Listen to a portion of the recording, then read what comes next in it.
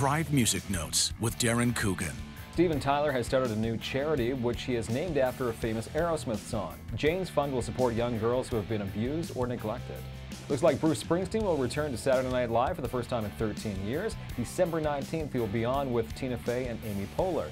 And could there be a new Stones album in the works? Ronnie Wood said the boys are going back into the studio next month to record some new songs. Listen to Darren Coogan weekdays on the afternoon drive.